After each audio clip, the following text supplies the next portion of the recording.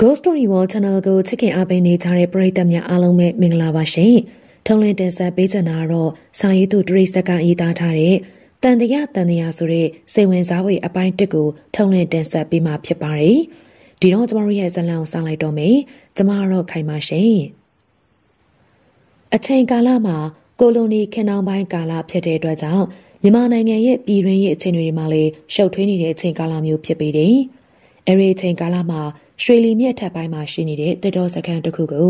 တုံးရာတူရရှိထားတဲ့လူရွယ်တယောက်ပြောင်းရွှေ့ရောက်လာလေတော့တယ်။သူရဲ့နာမည်မှာနှီးမောင်ဖြစ်ပြီးအသက်က28နှစ်ဝန်းကျင်အရွယ်ခန့်သာရှိသေးတယ်။ငယ်စဉ်ကဖခင်ဖြစ်သူရဲ့တတော်လုပ်ငန်းတွေကိုဝိုင်းဝန်းလုပ်ကံပေးခဲ့ပူခဲ့တဲ့အတွက်ကြောင့်တစ်ပင်နဲ့တတော်တွေအကြောင်းကိုအတော်နှံ့ဆက်ကျွမ်းကျင်စွာသိရှိထားသူတဦးလည်းဖြစ်ပြီးတယ်။နီမောင်ရဲ့မိဘတွေကတတော်လုပ်တွေနဲ့အတန်မူဝမ်းကြောင့်ပြုလုပ်သူတွေဖြစ်တဲ့အတွက် စီးပွားရေးအယမ်းမချောင်လဲကြတော့လေတားဖြစ်သူတော့အထက်တန်းအကြောင်းကိုပို့ပညာသင်ကြားပေးခဲ့တယ်။အထက်တန်းစာမေးပွဲအောင်မြင်ခဲ့ပြီးတဲ့နောက်တက္ကသိုလ်မတက်နိုင်တော့တဲ့အတွက်အတန်မူဝမ်းကျောင်းပညာသင်ကြားရန်ငယ်စဉ်ကလေးကဝါသနာပါခဲ့တဲ့တက်တော်ကျောင်းကိုတက်ရောက်ပညာသင်ကြားစေခဲ့တယ်။အဲဒီကျောင်းမှာပညာသင်ခဲ့ပြီးတောအုပ်စာမေးပွဲကိုဖြည့်ဆို့အောင်မြင်ခဲ့ပြီးတဲ့နောက်အလုတ်တာဝန်နဲ့တက်တော်စခန်းကိုရောက်လာခဲ့ကြတာဖြစ်တဲ့အဲဒီချိန်ကရွှေလီမြဝန်းတစ်လျှောက်မှာ တက်တော်ကြီးတွေသာဖုံးလွှမ်းထားလိုက်ပြီးလူနေထူထပ်ခြင်းမရှိလာသေးတဲ့အတွက်နေမောင်ရောက်သွားတဲ့တက်တော်စခန်းမှာတစေမြောင်လို့နာမည်ပေးထားတဲ့တက်တော်စခန်းသာဖြစ်ပေတယ်။အဲဒီစခန်းကိုတာဝန်ပေးခြင်းခံရပြီးတဲ့အခါမှာတော့ခင်မင်းနဲ့ဝါရင်တက်တော်ဝန်ထမ်းတချို့ကသတိပေးကြတယ်။နေမောင်မင်းတစေမြောင်ကူနဲ့နေတဲ့တက်တော်စခန်းကိုတာဝန်ကြရဲဆိုအဲ့ဒါဟုတ်သလားဟုတ်ပါတယ်အဲ့ဒီစခန်းရောက်တဲ့အခါမှာသတိနဲ့နေထိုင်ပြီးတော့အလုပ်လုပ်ပေါ့ဘာဖြစ်လို့လဲ အဲ့ဒီစခန်းတရေ၆တာကျန်းတယ်လို့နာမည်ကြီးတယ်ကွာဒါကြောင့်တော်ယုံသူတွေတော့တယ်တော့မသွားကြင်ချအောင်လေတရေကျန်းတော့လေအကာအကွယ်တွေစောင်းသွားမှာပေါ့ဗျာဘာတွေများပါလဲမြတ်စွာဘုရားရဲ့တရားတော်တွေကိုယူပြီးတော့မေတ္တာပို့ပေးမယ်ဆိုရင်အစဉ်ပြေမှာပဲလေအေးကွာမင်းပြောသလိုအစဉ်ပြေပါစေလို့ပဲဆုတောင်းပေးလိုက်တယ်အဲလိုပြောဆိုလိုက်ကြတယ်တစေမြောင်တက်တော်စခန်းမှာရွှေလီမြကန်းနဲ့မနီမွေးမှာရှိပြီးတော့ ကျွန်းတော်ကြီးတွေအပေါင်းပဲတက်တော်ကြီးတွေကလူတုံးမပအောင်ကောင်းလာတဲ့နေရာပင်ဖြစ်ပေတယ်။နေမောင်ရောက်တော့အဲ့ဒီစခန်းမှာရှိနေတဲ့တက်တော်ဝန်ထမ်းတွေကစေးကြိုကြတယ်။စခန်းမှာတော့အတော်အသင့်ကောင်းတဲ့နေအိမ်တချို့နဲ့အလုသမားတွေနေတဲ့တန်ရတပွဲဆောက်လုပ်ထားတဲ့အစာအုပ်တွေရှိကြတယ်။ကျွန်းသက်တွေနဲ့စောက်ထားတဲ့နေအိမ်တချို့မှာတလုံးမှာဆိုရင်တော့လလုံးစေစခန်းတာဝန်ခံဖြစ်နေတာဝန်ယူထားတဲ့ဥထံဖုံရှင်က၎င်းရဲ့မိသားစုနဲ့နေထိုင်နေနောက်တစ်လုံးမှာတော့ သစ်စရေးဖြစ်တဲ့မောင်ကျော်က၎င်းရဲ့မိသားစုနဲ့နေထိုင်နေနောက်တစ်လုံးကတော့ပြောင်းရွှေ့သွားကြတဲ့တောအုပ်နေထိုင်သွားတဲ့အိမ်သားဖြစ်ပြီးတယ်အခုအဲ့ဒီအိမ်ထဲမှာလူမရှိပြီစခန်းကိုရောက်ပြီးတော့စခန်းမှာရှိနေကြတဲ့ဝန်ထမ်းတွေအလုပ်သမားတွေနဲ့တွေ့ဆုံနှုတ်ဆက်ပြီးတော့နေထိုင်ရေးအတွက်ပြင်ဆင်ရတယ်ကျွန်တော်ကဘယ်နေရာမှာနေရမလဲအဲ့ဒီခါမှာတော့သစ်စရေးမောင်ကျော်ကဝင်ပြောတယ်တောအုပ်လေးကကျွန်တော်တို့နေတဲ့အိမ်မှာပဲနေပါကျွန်တော်ကဥထံဖုံရှင်တို့နဲ့အတူနေပါမယ်။ အဲလိုနေလို့အဆင်ပြေမယ်မထင်ဘူး။ဓာတ်ထက်ဟိုပိတ်ထားတဲ့တဲအိမ်တွေမှာဘသူနေသလဲ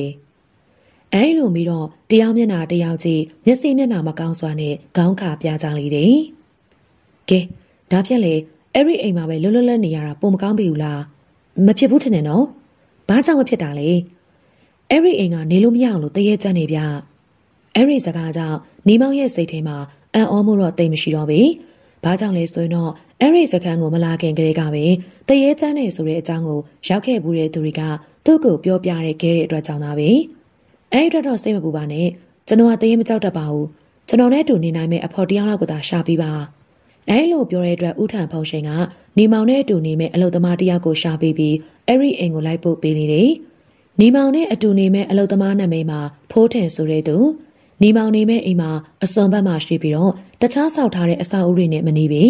တပင်စည်းတွေအုပ်စိုးနေသည့်တောင်ကုန်းတကုန်းပေါ်မှာဆောက်ထားခြင်းသာဖြစ်တဲ့အတွက်တီးခြားဆောက်ထားတဲ့အဆောက်အဦတစ်ဖွဲဖြစ်နေတာအလုသမားတွေကလည်းနေမောင်တို့နှစ်ယောက်ကိုအဲ့ဒီအိမ်ကိုလိုက်ပို့ပေးပြီးနောက်နောက်ကျောင်းကိုမအေးသေးတဲ့အမူအရာနဲ့ခောက်တက်တုတ်ပြန်ဆင်းသွားကြတယ်နေမောင်နေမဲ့အိမ်မှာကျွန်းသက်တွေနဲ့အခိုင်မှာဆောက်ထားတဲ့အိမ်မျိုးဖြစ်ပြီးတော့လူနေတာကြာခဲ့ပြီဖြစ်တဲ့အတွက်တအိမ်လုံးဖုန်တွေတက်နေပြီးပင်ကူမြင်တွေကနေရာအနှံ့မှာရှုပ်ထွေးနေတဲ့အတွက်နှစ်ယောက်သားတန်ရှင်းလောက်ကြရတယ်။ နေမောင်နဲ့အတူနေမဲ့ဖိုးထင်မှလည်းအတော့ပင်တက်တီကောင်းတဲ့သူဖြစ်ဟန်ရှိတယ်။ဖိုးထင်မင်းတရေတစေကြောက်တတ်သလား။မကြောက်တတ်ပါဘူးဆရာ။အေးငါလည်းမင်းလိုလူမျိုးမှသဘောကျတာကွာ။တချက်မင်းကဒီမှာဘာလုပ်တာလဲ။ဒီစကန်းကိုရောက်တာရောကြာပြီလား။ကျွန်တော်ကကျွဲကောင်းတယောက်ပါဒီစကန်ရောက်တာတော့ကြာပါပြီဒါဖြင့်ဒီအိမ်မှာတရေကျန်းနာရီတော့တည်တဲ့လောက်တိမှာပေါ့နော်မင်းတည်တဲ့လောက်ပြန်ပြီးတော့ပြောပြပေးပါဦး အဲလိုမျိုးမေးတော့ဖိုးထင်ကအလုံးလုံးနေရနေအရေးမကြီးတဲ့အမူအရာမျိုးနဲ့ပြန်ပြောတယ်ကျွန်တော်ပြောပြတာထက်ဆရာကိုယ်တိုင်လက်တွေ့ကြုံရရင်ပို့ပြီးတော့စိတ်ဝင်စားကြကောင်းမှာပေါ့ဗျာအေးဒါလည်းဟုတ်တာပဲဝတ္ထုဇလံကိုဇက်သိမ်းမသိရတော့စိတ်ဝင်စားစရာပိုကောင်းမှာပေါ့ကွာအဲလိုပြောပြီးတော့ညီမောင်ကသူနေမဲ့အခန်းအတွင်းကိုဝင်လိုက်စင်မှာအခန်းထောက်တနေရာမှာစောင်းကြောက်ထိုင်နေတဲ့လူတယောက်ရဲ့ပုံမှန်သဏ္ဍာန်ကိုဝိုးတော်ဝါတွေ့လိုက်ရလေတော့တယ်။ အသက်40ကျော်အရွယ်ခန့်ရှိသေးတော့လေရုပ်ပြက်ဆင်းမြက်ဖြစ်နေပြီးပုံသဏ္ဍာန်မျိုးသားဖြစ်နေတာ။နေမောင်ခန်းအတွင်းဝင်လာတော့အဲ့ဒီသူကသူ့နေရာကနေထပြီးတော့နေမောင်နီးကနေဖြတ်အပြင်ဘက်ကိုထွက်သွားလေတော့တယ်။၎င်းကအနားမှဖျက်လျှောက်သွားစဉ်ကနေမောင်စိတ်ထဲမှာတကုံလုံးရေခဲတုံးတွေနဲ့ထိလိုက်တကဲ့သို့ဖြစ်သွားပြီးအေးစိတ်သွားတာကိုတော့သတိပြုမိလိုက်တယ်။နေမောင်ကတော့ထွေထွေထူးထူးစမ်းစားမိတော့ပဲနဲ့အခန်းအတွင်းကိုဝင်ရှင်းစရာရှိရာတွေကိုရှင်းနေစမှာအတွင်းနေရရောက်တော့ ကျုံးသားနဲ့ကာယံထားတဲ့နေရပေါ်မှာပေါက်နေတဲ့တပေါက်ကြီးဖြစ်နေတာကိုတွေ့ရလေတော့တယ်။အဲ့ဒီအပေါက်ကြီးမှာဆိုရင်တော့တဘာဝအပေါက်မဟုတ်ဘဲနဲ့လက်နက်ကြောင်ပေါက်နေတဲ့အပေါက်မျိုးဖြစ်ပြီးလူတယောက်ရင်စိုးနေရလောက်မှရှင်းရအောင်နေမောင်လဲထွေထွေထူးထူးတွေးတောနေကြမလို့တော့ဘဲနဲ့တခြားလုပ်တွေကိုဆက်လက်လုပ်ကင်ပြီးအဲ့ဒီအခန်းကိုတန့်ရှင်းလောက်ကအဲ့ဒီအခန်းမှာပဲနေရန်ဆုံးဖြတ်လိုက်လေတော့တယ်။အချိန်ကတော့ညနေပိုင်းချိန်ကိုရောက်နေပြီ။ အပြင်ဘက်မှာမိုးတစိမ့်စိမ့်ရွာနေတဲ့အတွက်ကြောင့်သစေမြောင်တက်တော်စခန်းတစ်ခုလုံးလူသူကင်းမဲ့နေသေးလားတိတ်ဆိတ်ငြိမ်သက်နေလေတယ်။မိုးရွာနေသေးရလဲတကြောင်တက်တော်တက်ပင်တွေကနေရာလည်းမရှိအောင်လို့ဖုံးအုပ်ထားသေးရတကြောင်ကြောင့်ပတ်ဝန်းကျင်တစ်ခုလုံးအမောင်တူရီယာဖုံးအုပ်ထားလေတယ်။လေးတိုင်းတဲ့အခါမှာတပ်ပင်ကြီးပြာရိမ့်ထုံးနေပြီးတော့အကိုင်းခတ်တွေကလှုံရမ်းနေရမကောင်းဆိုးဝါးတွေပျော်ပါနေတဲ့ကဲ့သို့ရှိနေတယ်။ညမမောင်ထဲမှာမိုးတဖွဲဖွဲကျနေတဲ့ချိန်မှာဆိုရင်တော့ အဝေးမှဦးလိုက်တဲ့ခွေးဥတံတွေကမကောင်းဆိုးဝါးတွေအတွက်တေးဆုံကြီးနေတဲ့ကဲ့သို့ရှိနေတာ။အဲလိုကဲ့သို့ရာသီဥတုဆိုးဝါးနေတဲ့ချိန်မျိုးမှာခရီးပင်ပန်းလာတဲ့နေမောင်ဖို့တော့သူနေတဲ့အခန်းအတွင်းမှာပဲနည်းနည်းချိုက်ချိုက်အိမ်မော်ကြလျက်ရှိနေပြီ။သူနဲ့အတူတူနေတဲ့ဖိုးထင်ရလေးကရင်နဘေးမှာဖျာခင်းစောင်းကောင်းပြီးချုံကတခုခုတခုခုနဲ့ဟောက်တန်တွေနဲ့အိမ်မောကျနေပြီအဲလိုတိတ်ဆိတ်ငြိမ်သက်နေတဲ့ချိန်မျိုးမှာဘယ်နေရာနေအွန်လိုင်းတဲ့အတန်မှမသိရတဲ့ စူစူဝါဝါအော်တန်တန်ပေါ်လာတယ်ကဲတော်မူကြပါရှင်ကဲကြပါဦးဒီမှာတရားပါတော့မယ်ကျမကိုကဲပေးကြပါအောင်ရှင်အဲလိုအော်တန်ကြောင့်အိမ်မောကျနေတဲ့နေမောင်မှာပြန်နိုးလာပြီးတော့မျက်စိဖွင့်ကြည့်လိုက်တော့သွေးတန်ရဲရဲနဲ့သူနဲ့မနေမွေးနေရမှာရက်နေတဲ့လူတယောက်ရဲ့ပုံမှန်သဏ္ဍာန်ကိုမသိမကွဲတွေ့ရလေတော့တယ်။အခန်းတွဲမှာမီးအောင်မရှိဘဲနဲ့မှောင်နေတဲ့အတွက်ကြောင့်ဝူဒဝါသာတွေ့နေရခြင်းဖြစ်တယ်။နီမောင်က ခေါင်းအောက်မှာအစံတန်ထားတဲ့တနတ်တလန့်နဲ့လှမ်းဆန်းကင်ပြီးတော့အချိန်လေးကိုကြည့်လိုက်တယ်။အမောင်ထဲမှာရက်နေတဲ့ပုံမှန်သဏ္ဍာန်ကလေသူ့ကိုကြည့်နေစမှာပဲရံပတ်တဝိုင်းမှာသွေးတွေကဒလဟောကျနေလေရာကျမ်းမြင့်ပေါ်မှာပဲစေးကြနေပြီ။သူရက်နေတဲ့နေရာမှာဖိုးထင်အိမ်နေတဲ့နေရာနဲ့မဝေးလားတော့လေဖိုးထင်ကတော့တစက်ကလေးမှမလုပ်ဖ ೇನೆ အိမ်မြေအိမ်နေတယ်အတန်ကြာတော့မှဒဏ်ရာရနေရန်ရှိနေတဲ့လူကအခန်းပြန်ဘက်ကိုထွက်သွားတယ် သူထွက်သွားတော့လေအခန်းအတွင်းမှာတော့သွေးညင်နှံတွေကဆူဆူဝါးဝါဖြစ်ပြီးတော့ကြံခဲ့တယ်အဲ့ဒီခါကျမှနီမောင်ကအိမ်နေရကနေထလက်နေမီနဲ့ကြမ်းမြင့်ပေါ်ထိုးကြည့်လိုက်ရာမိအောင်အောင်မှာတော့လောလောဆယ်ကြာထားတဲ့သွေးကွက်တွေကိုတွေ့ရတဲ့အတွက်အိပ်ပျော်နေတဲ့ဖိုးထင်ကိုနှိုးလိုက်တယ်ဖိုးထင်ဖွတ်တင်ထပါအောင်ကွာဘာလို့လဲတော့လေစောစောကငါတို့ခန်းထဲကိုဒဏ်ရာရထားတဲ့လူတယောက်ဝင်လာတာမြင်လိုက်တယ်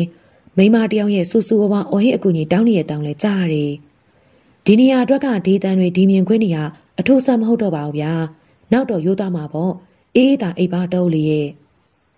ပြောပြောဆိုဆိုနဲ့ဖိုးထင်ကတစ်ချက်တန်းလိုက်ပြီးတော့အိယာဘော်ကိုပြန်လဲအိမ်ရန်ပြန်လိုက်တယ်မင်းကငါပြောတာမယုံမဲဘူးအခုထိကြမ်းမြံပေါ်မှာသွေးကွက်တွေကျန်နေခဲ့သေးတယ်ကွာဟိုမှာမမြင်ဘူးလားအဲလိုပြောဆိုနေရင်နဲ့စောစောကသွေးကွက်တွေစွန့်ပေးနေတဲ့ကြမ်းမြံတနေရာကိုလက်နဲ့မီးအောင်နဲ့ထိုးပြလိုက်တယ်။ နီမောက်မှာပြောင်းလဲသွားတဲ့မြင်ကွင်းကြောင့်ကိုမျက်စိကိုမယုံနိုင်အောင်လို့ဖြစ်သွားမိလေတော့တယ်။ဘာလို့လဲဆိုရင်တော့စောစောကသူ့မျက်စိမှာမြင်တွေ့ခဲ့ရတဲ့ကြမ်းမြံပေါ်မှာတင်နေတဲ့သွေးကွက်တွေမှာရင်းနဲ့စေးကြောတုတ်တင်တကယ်တော့တစက်မှမတွေ့ရတော့ဘူး။ဟမ်ဒီချမ်းမြန်ဘောကသွေးဆက်တွေကချက်ချင်းဖေကိုပျောက်သွားတာလေဒါကြောင့်ကျွန်တော်ပြောပါတယ်မဟုတ်လားအေးရေးပြက်ပါတယ်လို့တော့လေရဲ့အေးအေးသာပြန်ပြီးပါနောက်တနေ့ရောက်ရင်ဒီเจ้าတွေကိုကျွန်တော်ပြောပြပါမယ်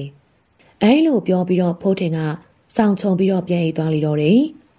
နေမောင်လည်းစိတ်မကြည်နဲ့ဖြစ်နေတော့လေသူ့အချိန်နဲ့ဘာမှမတတ်နိုင်တော့ဘဲနဲ့အိမ်ယာဘော်ကိုပြန်လေအိမ်ရန်စူးစားတော့လေတော်တော်နဲ့အိမ်မပျော်ပဲဖြစ်နေတယ်။ဆော့ဆော့အမြင်ကွင်းတွေကိုတရိယာနေသေးတာကြောင့်လွန်ခဲ့တဲ့အတိတ်ကာလညာလေးခင်နဲ့ပတ်သက်ခဲ့တဲ့အကြောင်းအရာတွေကိုပြန်ပြီးတော့တရိယာနေသေးတာတကြောင်ကြောင့်အိမ်မရပဲနဲ့ဖြစ်နေကြတာဖြစ်ပြီးတယ်။လွန်ခဲ့တဲ့တနေ့ကျော်အချိန်ကညာလေးခင်နဲ့ပတ်သက်ခဲ့တဲ့အကြောင်းတွေကအတွေးတွေကိုတစ်ခုပြီးတစ်ခုပြန်ဝင်လာကြတယ်။ နေမောင်တို့နေထိုင်တဲ့ကျောလာရွာမှာ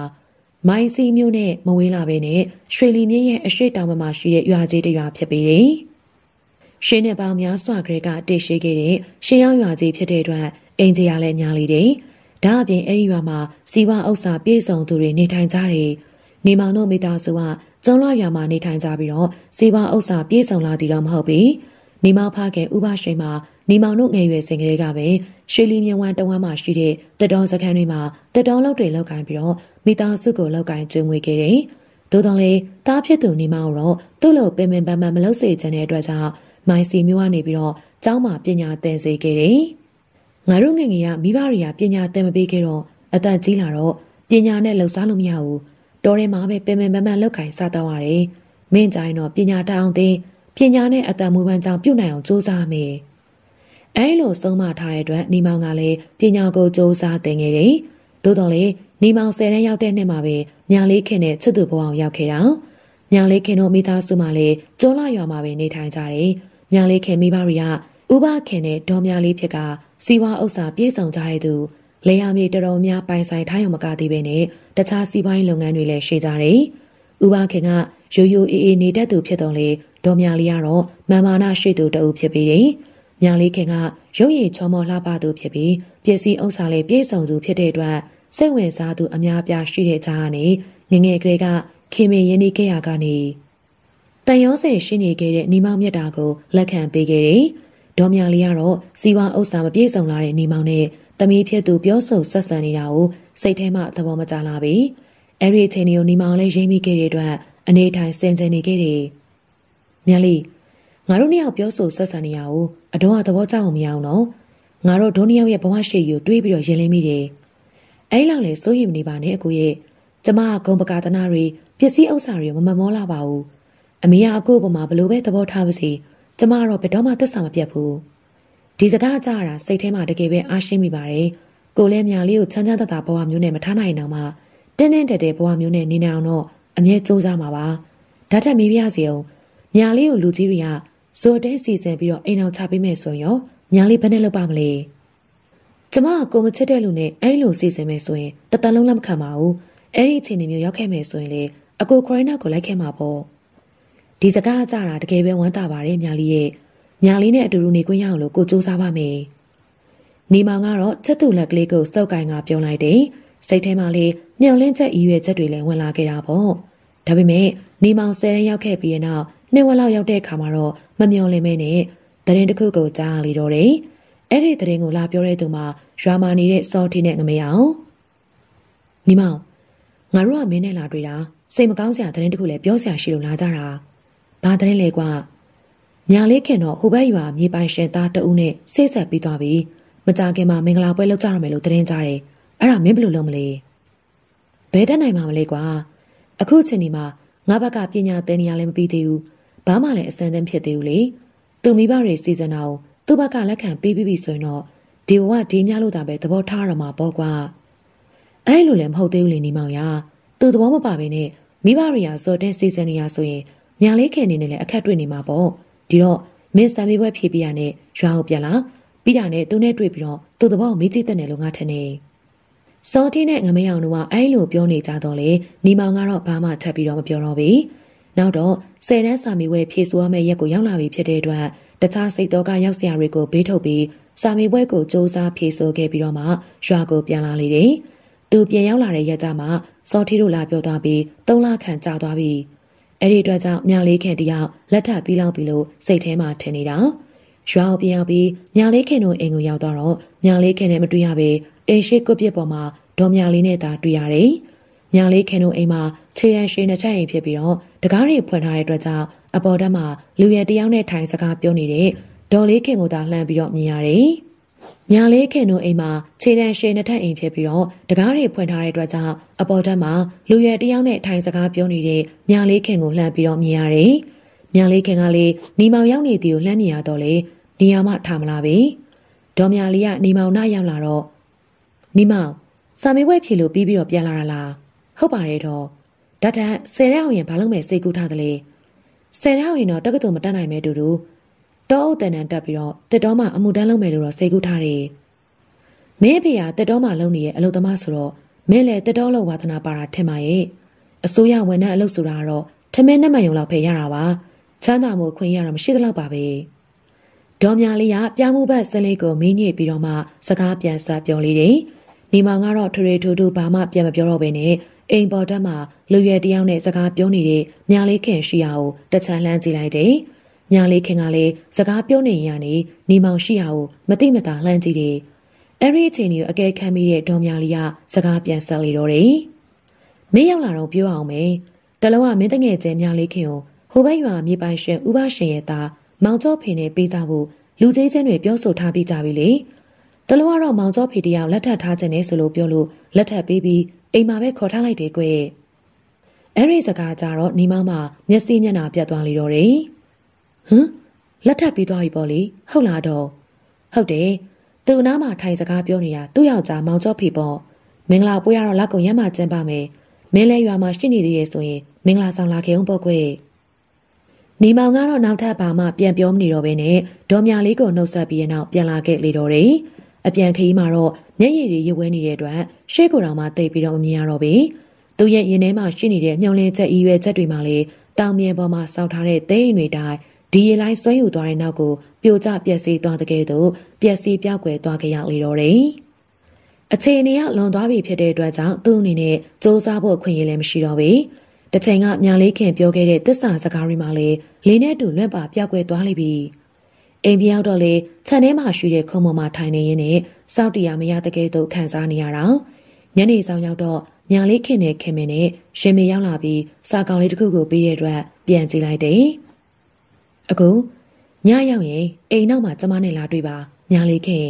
။နေမောင်ကစာဖတ်ပြီးတော့ပြန်ခောက်ထားလိုက်တယ်။ငါတို့ဘာပြန်ပြောလိုက်ရမလဲ။သစ္စာကိုတန်မိုးမထားတဲ့သူမျိုးနဲ့မတွေ့ချင်တော့ပါဘူး။မတွေ့တဲ့တော့ဘူးလို့လာမတွေ့တော့ဘူးလို့သာပြန်ပြောလိုက်ပါ။ ရင်မေလည်းမျက်စိမျက်နှာမကောင်းစွာနဲ့ပြန်သွားလေတော့တယ်။နောက်တနေ့မနက်ပိုင်းအချိန်ကိုရောက်တော့နေမောင်အိမ်ကိုစော်တီနဲ့ငမေးအောင်တို့ရောက်လာတယ်။နေမောင်ညာလေးခင်မရှိတော့ဘူး။ဘယ်ရောက်သွားလို့လဲ။ညစင်သေးချောင်းချောက်ထဲကိုခုန်ချပြီးတော့ကိုကိုကိုတက်တည်သွားပြီလေ။သူမိဘတွေကိုအကျိုးကြောင့်စာရေးထားခဲ့တယ်။သူချစ်တဲ့သူနဲ့မယူနိုင်လို့ကိုကိုကိုတက်တည်သွားတာတဲ့။လိုက်ရှာကြတော့စင်သေးချောင်းကြောက်ကဘာနေအဲ့ဒီထိတ်မှာသူစီးထားတဲ့ဖက်နဲ့ပဲတွေ့တော့တယ်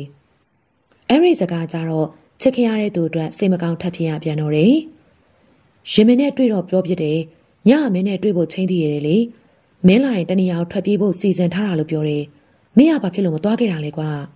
။သူကလက်ထပ်ပြီးလို့သူ့ယောက်ျားတော့အိမ်မော်ရောက်နေပြီးမှပဲငါသူချင်းတာတွားတွေ့လို့ဖြစ်ပါတော့မလားငမဲအောင်ရညာလေးခင်ကစိတ်ဆက်ကြတဲ့အစင်ပဲရှိပါသေးတယ်ဘသူနဲ့မှလက်ထပ်တယ်လို့မကြားမိသေးဘူးဓာတ်ထက်သူလက်ထပ်ပြီးပြီလို့မင်းကိုဘသူပြောတာလဲ မနေ့ကသူ့အိမ်သွားတော့သူ့အမေကိုယ်တိုင်ပြောလိုက်တာပဲလေငါရောက်သွားတော့အိမ်ပေါ်မှာသူလူတယောက်နဲ့စကားပြောနေတာတွေ့ခဲ့တယ်အဲ့ဒါသူ့ယောက်ျားလို့ပြောလိုက်တယ်အခုမှပဲသဘောပေါက်တော့တယ်နေမောင်ရဒီလိုဖြစ်ရတဲ့အဓိကတရခန့်ကညာလေးခင်ရဲ့အမေဒေါ်ညာလေးရဲ့စနက်ဖဲကိုကွာသူကမင်းနဲ့ညာလေးခင်တို့အစင်ပြေနေတာကိုရင်းမိလို့ရတဲ့အနေနဲ့ခွဲဖို့ကြံစီနေပုံရတယ်။အခုတော့သူမွေးတဲ့မိကသူတို့မိသားစုပြန်ပြီးတော့လောင်နေပြီလေ။တကယ်တော့ညာလေးခင်မှာဘာမှအပြစ်မရှိပါဘူးကွာ။အခုတော့ ငါငါမားသွားပြီကွာ။မင်းနောင်ထားရနေလေညာလေးခင်နေကတော့ပြန်မတွေ့နိုင်တော့ဘူးကွာ။အတ္တကြီးပြီးတော့ဂုံပကာသနာမှတ်တဲ့သူ့ရဲ့စကားတခွန်ကြောင့်အပြစ်မရှိတဲ့မိန်းကလေးတယောက်တည်ခဲ့ရတယ်။တနာစရာပဲ။အဲလိုပြောပြီးတော့စော်တင်းနဲ့ငမရောက်တို့လည်းပြန်သွားကြလေတော့တယ်။နောက်ပိုင်းနေမောင်တယောက်ဆယ်ရက်စာမီဝဲအောင်မြင်ခဲ့ပြီးတဲ့နောက်မှာတော့တောအုပ်စာမီဝဲဝင်ရောက်ဖြေဆိုခဲ့ရအောင်မြင်ခဲ့တဲ့အတွက်တစေမြောင်တက်တော်စခန်းကိုရောက်လာခဲ့ကြတာဖြစ်ပြီးတော့တယ်။ နေမောင်တယောက်တစေမြောင်တက်တော်စခန်းကိုရောက်လာခဲ့သည်မှာတလားကျော်လောက်ကြာခဲ့ပြီမို့အဲ့ဒီကာလအတွင်းမှာတက်တော်လုပ်ငန်းတွေနဲ့ပတ်သက်ပြီးတော့အခက်အခဲဘာမှမရှိဘဲနဲ့အဆင်ပြေနေခဲ့လေတယ်။ဒေါကောင်ဥထံဖုံရှိန်ပါဝဲတက်တော်စခန်းမှာရှိကြတဲ့တောကောင်းသစ္စရိစင်ကောင်းကျွဲကောင်းအလုသမားကောင်းဆောင်အပါဝင်အလုသမားတွေကတာဝန်ကျအောင်လုပ်ပေးခဲ့ကြတဲ့အတွက်အဲ့လောက်အဆင်ပြေချုံမွေ့နေကြကြတာဖြစ်ပြီးတယ်။ဒါပေမဲ့နေမောင်းအတွက်အဆင်မပြေစရာတခုတော့ရှိနေတယ်တခြားတော့မဟုတ်ပါဘူး သူနေတဲ့အိမ်မှာညစဉ်တရေ၆တဲ့အတွက်ကောင်းစွာမအေးရကြတာဖြစ်ပြီးတယ်ညနေပိုင်းကိုရောက်လာပြီဆိုရင်မိမတယောက်ရဲ့စူစူဝါဝါအော်ဟစ်တန်ကြားရပြီးနောက်ရင်ဘတ်မှာဟောင်းလောင်းပေါက်ကြီးဖြစ်နေကတကူလုံးသွေးတန်ရဲရဲနဲ့လူတယောက်အိမ်ပေါ်မှာရှောက်သွားနေတာကိုတွေ့မြင်နေရတဲ့အတွက်ကြောင့်သာဖြစ်ပြီးတယ်။နေမောင်က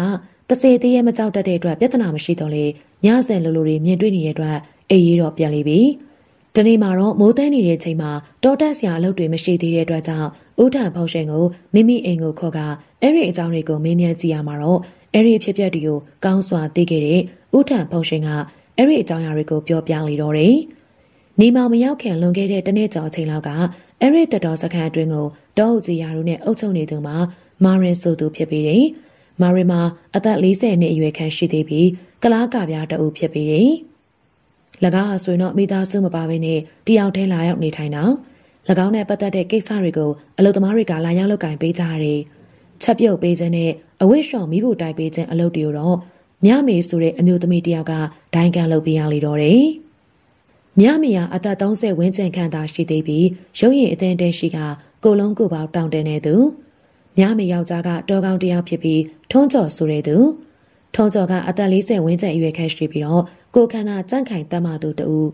ထုံးကျော်ကအရက်ကြိုက်တဲ့သူတူဖြစ်ပြီးတော့ပါဇက်အတွင်းမှာလေကိုငုံမပြတ်ဝါနေရအိယာဝန်တော်မှကုန်းဝါချင်းကိုရက်တန်းနေသူထုံးကျော်ကတတော်လောက်ကျွမ်းကျင်တယ်လို့အမဲလိုက်ရမှလေသူမတူအောင်ထိုးချင်တဲ့သူသူကင်တဲ့လက်နက်မှာလှန်၎င်းကင်တဲ့လှန်မှာဆိုရင်တော့တန်အသွားကိုတက်သားအယိုးတက်ထားတဲ့လှန်မျိုးမဟုတ်ပေတရေပိုင်လုံးကိုငားပေခံဖြတ်ထိပ်ပိုင်းနဲ့ အဲ့ဒီမှာတပီလောက်ကိုအပြားပြုတ်လောက်ကလှန်အသွားဖြင့်ပြုတ်လောက်ထားခြင်းဖြစ်ပြီးတယ်ထိတ်တွေနဲ့အသွားနှစ်ပတ်ကိုမြနေအောင်တွေးထားပြီးတော့ထိတ်ဖျားမှာညားရန်ကဲသူအထက်ပြုတ်လောက်ထားတဲ့အတွက်ရုတ်တရက်ကြည့်မယ်ဆိုရင်တော့ကျုံးမော်တင်မှာမိချောင်းထိုးတဲ့ဆလွန်းနေတောင်မှာပုံတရံတူနေတယ်။ထွန်းချုံကသူကိုယ်တိုင်ပြုတ်လောက်ထားတဲ့လှန်နဲ့တောဝက်ထိုးလေးရှိနေတယ်။တောဝက်မှာတောထဲမှာကြောက်စရာကောင်းတဲ့တတဝါတစ်မျိုးဖြစ်တော့လေထွန်းချုံလှန်ချက်ကြောင့်အသက်တည်ရတဲ့အရေးအတွက်ကမနေတော့ဘူး။ ဒါကြောင့်လှုပ်ဖော်ကိုင်းဘက်တွေကထွန်းချုံကိုကြံဆက်သားလို့ခေါ်ကြတယ်။ဒီနေ့မှာတော့တော်ရီယာနဲ့အလုံးလုံးနေရင်နဲ့ထွန်းကားဆိုတဲ့သူနဲ့တွေ့လာလေတော့တယ်။ထွန်းကားကပြောတယ်။ထွန်းချုံမင်းတော့ကြံဆက်သားဘွားကနေကြံရသားဘွားရောက်တော့မယ်ထင်တယ်နော်။မင်းမိမမြမိရတော့တောအိမ်ကပြင်ရတယ်မရှိဘူးကြာရင်ကလာမရဖြစ်တော့မှာပဲထွန်းကျော်ကတော့ထရေထူထူဘာမှပြန်မပြောတော့ဘဲနဲ့ကွန်တရီတွေကိုပြစ်ခနဲထွေးချလိုက်တယ် အဲ့ဒီနေရာအလုစောစောပြီးတဲ့အတွက်ပြန်သွားတယ်မြမိတယောက်တောအိမ်ကိုရောက်နေတဲ့အတွက်မတွေ့ရပြီအလုမောလာတဲ့အတွက်ထမဲစားရင်ကြည့်လိုက်တော့လေညနေစာအစင်သင့်မရှိဒါကြောင့်အရက်တော့ကသူကင်နေကြလှန်ကိုကြောက်ပြားနဲ့မြနေအောင်ထိုင်ပြီးတော့တွေ့နေတာအဲ့ဒီချိန်ရောက်တော့မှမြမိကမျက်စိမျက်နှာမကောင်းစွာနဲ့အိမ်ကိုပြန်ရောက်လာတယ်။ကိုထွန်းကျော်ဒီနေ့အစောကြီးပြန်လာတာလား။ယောက်ျားပြန်လာရင်ထမင်းစားဖို့တော့မချက်ပြုတ်နိုင်လောက်။ဘာရင်းများအလုပ်တွေပုံနေတာတော့။ စိတ်မဆိုးပါနဲ့ကိုထွန်းကျော်ရေထမင်းနဲ့ဟင်းချက်လိုက်ရင်မကြပါဘူး။နင်ဖယ်သွားနေရလေ။တောက်ကြီးခေါ်လို့သူ့အိမ်သွားပြီးအလုပ်တွေလုပ်ပေးနေရလို့ပါ။ငါကြတော့ထမင်းငတ်ထားဟိုကလားကိုတော့စိတ်တိုင်းစာလုပ်ပေးနေတယ်ပေါ့။ဘာလဲနေရတော့ကတော့ဖြစ်ချင်နေလို့လား။မဟုတ်ပါဘူးကိုထွန်းကျော်ရေကျမကိုအထင်မလွဲပါနဲ့ဖောက်ပြန်တာမျိုးဘယ်တော့မှမလုပ်ပါဘူးအေးလက်ပူးလက်ချက်မတွေ့သေးသေးပြီးတော့နေအောင်ပေါ့တွေးလို့ကတော့နှစ်ယောက်စလုံးကိုဟော်ရီလန်နဲ့ဝက်အုပ်ထိုးသလိုထိုးတတ်ပြမယ် အဲလိုပြောကသွေးထားတဲ့လန်ကိုမြမေရှိကိုဝဲပြရာကြောထဲမှာစိန်ကနေဖြစ်သွားလေတော့တယ်နောက်ရက်တွေမှာတော့မြမိမှာတောင်းအိမ်ကိုတိတ်ပြီးတော့မသွားတော့ဘဲနဲ့မလွဲမရှောင်သားမှသာတွားရလောက်ကင်ပေးလေတယ်အလုပ်ပြီးတာနဲ့မိမိနေအိမ်ကိုပြန်လာကလှုပ်ရှားရှိရာတွေကိုလေဟုံမှုမရှိစေဖို့အတွက်ဂယုတ်တဆိုင်လောက်ကင်ထားလေတယ်။ဒီနေ့မှာတော့တောအုပ်ကြီးမာရီကထုံးကျော်ကိုသူ့ရဲ့နေအိမ်ကိုခေါ်ကဒီလိုပြောလိုက်တယ်။ထုံးကျော်စက်ကြတဲ့စခန်းဘက်မှာ မကြာခဏတက်လုံးတွေပြောင်းနေရလို့ဟိုဟာသတင်းပေးလာရလေ။အဲ့ဒီနေရာမင်းသွားပြီးတော့စုံစမ်းရမယ်။စက်ကြတဲ့စခန်းမှာအလံဝီတဲ့နေရာမှာရှိတဲ့အတွက်ကြောင့်သွားမယ်ဆိုရင်တော့၄၅ရက်ခန့်မှကြာမှပြန်အောင်မှာဖြစ်တဲ့အတွက်ထုံးကြော်တရားမသွားခြင်းပဲတခြားတရားလွတ်လို့မရဘူးလားဗျမင်းနဲ့အင့်တော်လို့မင်းကိုလွတ်တာညင်းလို့မရဘူးမင်းနဲ့တို့နှစ်ယောက်သုံးယောက်ခေါ်သွားနိုင်တယ်အဲလိုပြောတဲ့အတွက်ထုံးကြော်လေမျက်စိမျက်နှာမကောင်းစွာနဲ့ပြန်ထွက်လာလေတော့တယ် နောက်တနေ့မနက်ပိုင်းခရီးထွက်ရန်ပြင်တော့မြမီကမျက်စိမျက်နှာမကောင်းစွာနဲ့လိုအပ်တာတွေကိုလောက်ကင်ပေးတယ်နေ့လယ်ဘက်ကိုရောက်တော့တောကခေါ်တဲ့အတွက်အဲ့ဒီအိမ်ကိုသွားကလောက်ကင်ပေးနေရတော့လေမြမီစိတ်ထဲမှာတော့တထင်ထင်ဖြစ်နေတာမမျော်လင့်မဲနဲ့ထုံးကျော်ပြောင်းလာမှစိုးရင်နေတာညနေဆောင်တော့မိုးအသေးကြီးမဲကြီးရွာချလာရာပတ်ဝန်းကျင်မှာမှောင်မဲလာတယ်။အဲဒီချိန်ရောက်တော့မြမီကအလုတ်တွေလက်စားသိနေအိမ်ကိုပြန်ရင်ပြန်တော့မာရစ်ကပြောတယ်။ ငါသိနေလို့မကောင်းဘူး။နင်ဒီမှာစောင့်ပေးရင်ကောင်းလိမ့်မယ်။မဖြစ်ဘူး။ပတ်ဝန်းကျင်ကသိရင်တမျိုးထင်သွားလိမ့်မယ်။ကိုထုံးကျော်သိရင်လည်းမကောင်းဘူး။နင်ကလေဒီရဲ့တမောက်မြအရေးလုံနေသေးတယ်။နင်ရုပ်ရည်နဲ့ဆိုရင်သူ့ထက်တာရရနိုင်ပါရဲ့သားနဲ့အဲလိုပြောတော့မြမီကဘာမှပြန်မပြောဘဲနဲ့ပြန်ရန်ပြန်တော့မာရစ်ကပြောလာတယ်။နင်ပြန်ရင်လည်းပြန်ပါဒါပေမဲ့ညကြရင်စေးသားဖို့လိုတဲ့ပစ္စည်းတွေတော့ငါခန်းတွေကိုပို့ပေးထားခဲ့ဦး။ အဲလိုပြောတဲ့အတွက်မတတ်တာရိုတဲ့အတွက်ရင်နွေးတတ်ဖို့ပါဝင်လိုအပ်တဲ့ပစ္စည်းတွေကိုမာရစ်အိမ်တခန်းထဲကိုသွားနေစဉ်မာရစ်ကနောက်ကလိုက်လာပြီးအခန်းတကားကိုပိတ်ထားလိုက်တယ်။ရှင်ဘယ်လိုလုပ်တာလဲကျမပြန်မရစီအောင်တကားဖွင့်ပေးပါ။မာရစ်ကဘာမှမပြောဘဲနဲ့ညမိကိုပွေဖက်ထားလိုက်တယ်။အိုးလွတ်ပါကျမတလုံးမိမမျိုးမဟုတ်ဘူးမတန့်တော့တာမကြံစီပါနဲ့အဲလိုပြောဆိုကလွတ်မြောက်အောင်ယုံသေးတော်လေခွန်အားခြင်းမများတဲ့အတွက် မာရီလက်ကနေမလွတ်ခဲ့ပေယုံရင်နဲ့နေရန်ကိုကတ်သွားလီတော်တယ်အပြင်ဘက်မှာတော့လေယောမိုးပါပြင်းထန်စွာရွာသွန်းတိုက်ခိုက်နေတဲ့အတွက်အဲ့ဒီအခန်းတွင်မှဖြစ်ပျက်နေတဲ့ချင်းတွေကိုတော့ဘယ်သူမှမသိနိုင်မကြားနိုင်တော့ဘူး။ညမီမှာအင်အားရှိသမျှရုံးကန်နေရကနေတဖြည်းဖြည်းနဲ့မော်ပန်းလာရာမာရစ်ပြုသမျှနှူရလေတော့မယ်။အဲ့ဒီအချိန်မျိုးကိုတဖြည်းဖြည်းနဲ့ပြန်ရောက်လာပြီးငါမင်းကိုတွေ့ကနေရစိတ်ထဲကနေသဘောကျနေတာ မာရစ်ကပျော့ပျော့ဆူဆူနဲ့ညမေမျက်နာကိုနမ်းရှုပ်နေတဲ့ခိုင်မှာပဲပိတ်ထားတဲ့အခန်းတကားချက်တွေကလေးနဲ့တိုင်းလိုက်တကယ်တော့ပွင့်သွားလေတော့တယ်မရှိမနာမှာပဲအခန်းအတွင်းကိုတန်နဲ့ပြုတ်လောက်ထားတဲ့လှန်ကိုကိုင်ကထုံးကြော်ဝင်ရောက်လာတယ်ထုံးကြော်ဝင်ရောက်လာတာကိုမြမေကမြင်တော့လေမာရစ်ကတော့ကြော်ပေးထားတဲ့အတွက်မသေးသေးဘူးသူများမိမကြာခိုခြင်းတဲ့လူယုံမာနဲ့တစ္ဆာမရှိတဲ့မိမယုံနှစ်ယောက်စလုံးအတူတူတေကြပြီးတော့ အဲလိုပြောပြောဆိုဆိုနဲ့အရှိန်နဲ့ပြေးဝင်လာကမာရီရဲ့နောက်ကျောကိုထိုးဆိုင်လိုက်လျာလှန်သွားကထလာတဲ့အတွက်မာရီတာမကရင်ကျဲအအနေထားဖြစ်နေတဲ့မြမီရဲ့ရင်ဝါကိုပါဖောက်ဝင်သွားပြီးတော့ကျွန်းသားနေရာမှာအထက်ပြုတ်လောက်ထားတဲ့လှန်သွားကစိုက်ဝင်သွားလျာပြန်ပြီးတော့မကြတော့ဘူးကဲတော်မူကြပါအောင်ရှင်ကဲကြပါအောင်ဒီမှာတရားပါတော့မယ်ကျမကိုကဲပေးကြပါအောင်ရှင် မြမရဲ့စူစူဝါးဝါအော်တန်ထွက်ပေါ်လာပြီးတော့ထုံးကျော်လေးနောက်ဖေးတကားပေါက်ကနေအပြင်ကိုပြန်ထွက်သွားလေတော့တယ်။တကယ်တော့ထုံးကျော်မှာမာရစ်ကဥပဲ့တမ်းမြင်တဲ့သူ့ကိုစေလုံးမန်တီးတဲ့အတွက်အဖော်ရီကိုတောထဲမှာထားခဲ့ပြီးတကြော့ပြန်လာခဲ့ကြတာဖြစ်ပေတယ်။အဲဒီနေရာရောက်တော့ဥထံဖုံရှင်ကစကားစားကူရက်စေးတံကိုစေးဖြည့်ပြီးတော့အေးအေးဆေးဆေးမိညင်နေတာ။နောက်တော့ဘလို့ဖြစ်သွားသလဲ။နှစ်ယောက်စလုံးတေးသွားကြသလား။အော်တန်ကြားလို့ကျုပ်တို့ရောက်သွားတော့ နှစ်ယောက်ပူးရသားနေရာမှာကက်လျက်သားလှန်နဲ့ထိုးဆိုင်ထားတော့ဝက်နှကောင်ကိုလှန်နဲ့ထိုးထားတဲ့အတိုင်းပဲမြင်မကောင်းဘူးလေလှန်ကိုမြင်ကလေးကထုံးချော်လက်ချက်မှန်သိကြပေမဲ့သူ့ကိုဘယ်သူမှအပြင်ပြောကြဘူးမြင်တဲ့သူတိုင်းကဖောက်ပြန်တဲ့သူမှန်သမျှဒီလိုပဲတည်တဲ့နယ်လို့ပြောကြတယ်နောက်တော့ဘလို့ဖြစ်သွားသလဲကျုပ်တို့ရောက်သွားတော့ထိုးခဲ့တဲ့လန်ချက်ကဘလောက်ပြင်းတယ်လဲဆိုရင်နှစ်ယောက်စလုံးကိုတစိုးကင်တယ်လို့ဖောက်ပြီးနေရာမှာစိုက်နေတဲ့လေကိုပြန်နှုတ်တာဘလို့မှနှုတ်မရရပဲနဲ့အသွားမှပါတဲ့အထက်ကခံနေတော့ ဘလို့မှပြန်လို့မရတာနဲ့နေရန်ကိုအပဖောက်ထုတ်လိုက်ရတယ်လေဒါဖြင့်နှစ်ယောက်စလုံးတေကြတာပဲလားမာရစ်ကတော့ပွဲချင်းမေးတည်သွားတယ်မြမရတော့အသက်ရှိနေသေးတော့မြို့ကိုခေါ်သွားပြီးတော့ဆေးကုပေးလိုက်တာကံကောင်းထောင်းမစွာနဲ့အသက်ပြန်ရှင်လာတယ်လေဒါပေမဲ့အကြောက်လွန်သွားတဲ့ထင်ပါရဲ့စိတ်ကတော့တိတ်မမှန်တော့ဘူးထက်ထက်ကိုထွန်းကျော်အောင်ဘယ်ရောက်သွားသလဲပလိတ်တွေကလိုက်ရှာနေကြတာသူကတော်လိုင်းတက်ကိုဝင်နေကျဲရီကိုတိုက်ထုတ်တဲ့ပွဲတွေမှာပါဝင်တိုက်ခိုက်ပေးနေတို က်ပွဲတစ်ပွဲမှာကြာသွားတယ်လို့သတင်းကြားရတယ်။စိတ်မကောင်းစရာပဲလူယုံမှတယောက်ကြောင့်လူကောင်းတွေဒုက္ခရောက်ကြရတယ်။ဒါအပြင်ဒီမှာရှိနေတဲ့မာရီရဲ့ဝိညာဉ်ဆိုတာတော့သိကြတာပေါ့။မြမရအသက်ပြန်ရှင်လာပြီးရတော့မှ